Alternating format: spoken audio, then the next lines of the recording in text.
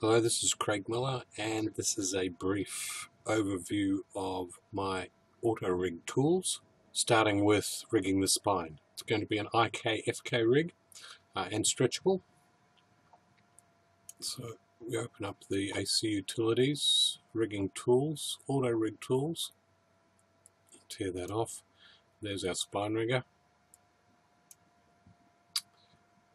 Asks to select the top of the spine there's our joint shoulders. So I'll select that and rig the spine.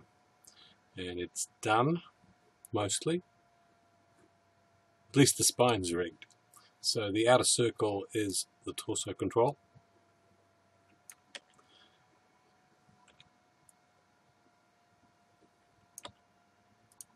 The inner is the hip control. As I said, spine is stretchable. And we have middle spine or belly controller. And the top we have our IK shoulder controller.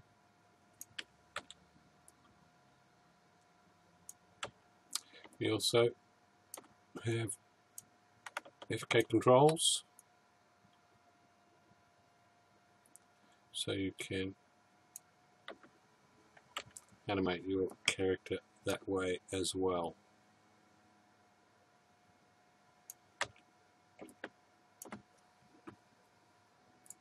The rig for this character is not yet complete.